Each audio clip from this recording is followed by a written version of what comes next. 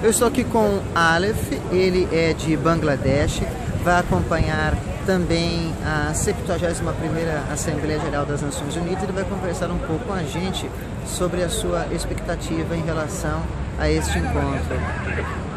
Uh, how are you, Aleph? I'm fine, thank you. And how about you? That's okay. I am well too.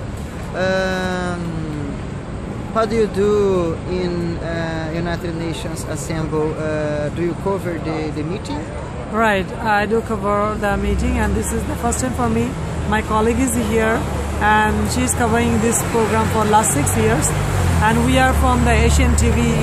Uh, uh, it's, it's original from Bangladesh, and we are covering for the program also like uh, our prime minister will be here in the meeting so we are very happy for the total program. How do you see about the united nations assemble uh, is it uh, very important about to discuss the main issues in the world?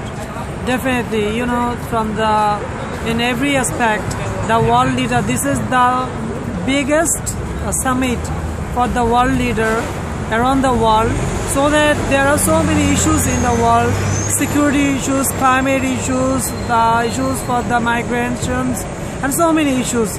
So here is the only place where the world leader can come to in a good conclusion. They can exchange their views and even they can uh, take some initiative for a better future better world. We are expecting a lot from from this meeting actually. Thank you very much, Aleph. You are welcome. Bye bye, take care. Aleph conversou com a gente aqui em frente à sede das Nações Unidas em Nova York. Ele disse que ele tem uma boa expectativa, a melhor expectativa possível em relação a este encontro das Nações Unidas, a 71ª Assembleia Geral das Nações Unidas.